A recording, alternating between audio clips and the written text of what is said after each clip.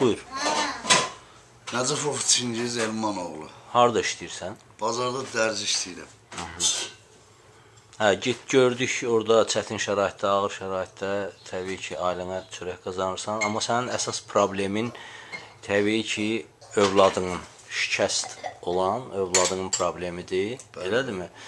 E, yəni e, müraciət eləməkdə məqsədin nədir? Bax nə e, fikrin nədir ki, bax? Fikrim bu indiyə kimi elə bil ki, pis, yaxşı, yəni nələrimsə olubdu, evimi, eşiyimi, yəni olanımı, qalanımı, inansız bu evin içində elə bil hər şeyimizi satmışıq. Bir dənə elə bil ki, bir dənə gəbəsinə kimi də satmışıq. Atan gələn indi bir yerdə qalmısan, da əvvəl kirədə. Satmışıq. Yəni qaşlığına, qabına kimi ki, nədir balad da. Özdə üzr istəyirəm, mən bağışlayım. Buyur. Yəni övladım olmamışdı, olmadı. Sonra da Allah verdi. Yəni indi şikəst olsa balamız da, yəni qoymadıq ölməyə. Hansı ki həkimlər var idi, deyirdilər ki, aparın deyirdilər, 1-2 saat vaxtı var. Öləcəkdi. Amma mən həkim dedim ki, kişisən, yekə adamsan, adam adama belə söz dedim. Götürüb uşağımı qaçırmışam Bakıya, aparmışam sağ olsun. Başla.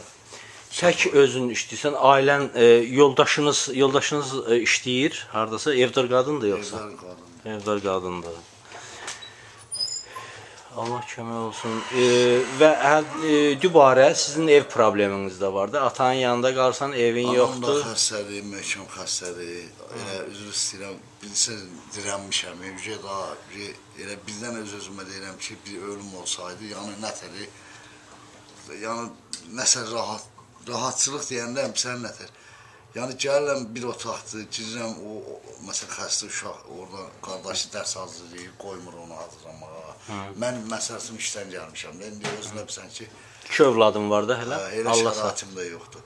Gəlirəm evə çəkib bir skan çay içməyə, bir lokma çörək yeməyə. Bunların barikətləri tamamıma təsir edir. Yəni tiskinirəm belə bir həyatımdan da tiskinirəm.